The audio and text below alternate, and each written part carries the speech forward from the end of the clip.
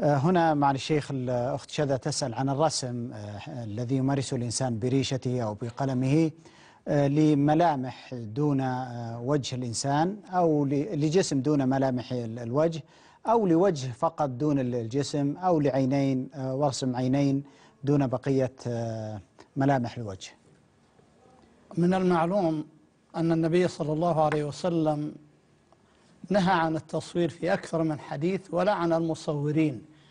واجتهد العلماء في ما دلت عليه هذه الأحاديث. وهل هي تشمل التصوير بمختلف أشكاله وصوره؟ والأظهر والله أعلم أنه يشمل الحالتين.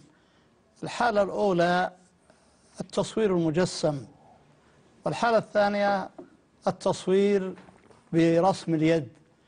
ومن ثم فإن التصوير بالآلات المعروفة اليوم ما يعرف بالتصوير الشمسي أو بغيره من آلات التصوير اليوم لا يندرج تحت هذه الأحاديث.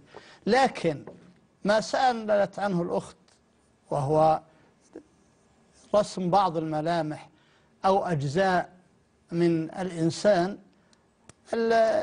البعد عنه أولى. لكن لا يظهر لي أنه ينطبق عليه ما نص عليه العلماء في مسألة انطباق هذه الأحاديث على الصور المرسومة باليد والتي فيها محاكاة لما صوره الله عز وجل. نعم بارك الله فيكم. إذا كان دون ملامح هذا معالي الشيخ؟ يعني إذا كان يعني ليس شيء يظن أن الحياة تبقى فيه لكن البعد عنه أحوط.